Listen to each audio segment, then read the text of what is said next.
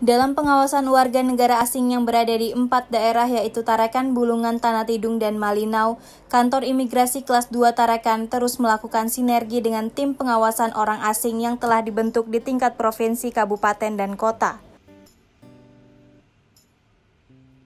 Kepala Kantor Imigrasi Kelas 2 Tarakan Andi Mario menjelaskan, selain rutin melakukan pengawasan dengan menurunkan anggota langsung ke lapangan, pihaknya juga rutin melakukan koordinasi dengan tim Pora yang sudah dibentuk di tingkat provinsi, kabupaten, dan kota, di mana sejauh ini pihaknya menemukan laporan adanya WNA yang melakukan pelanggaran.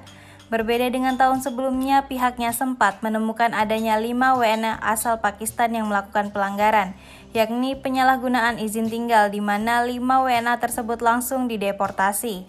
Berdasarkan data kantor imigrasi kelas 2 Tarakan, ada 274 WNA yang memegang izin tinggal, di mana WNA yang didominasi berasal dari Cina tersebut merupakan tenaga kerja asing yang bekerja di sejumlah perusahaan yang ada di Kota Tarakan, Kabupaten Bulungan, Kabupaten Malinau, dan Kabupaten Tanah Tidung.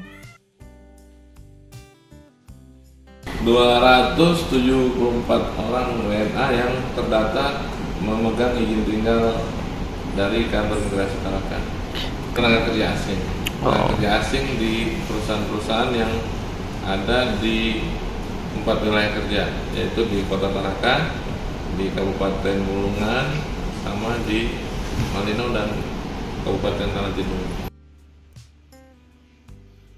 Januriansa melaporkan.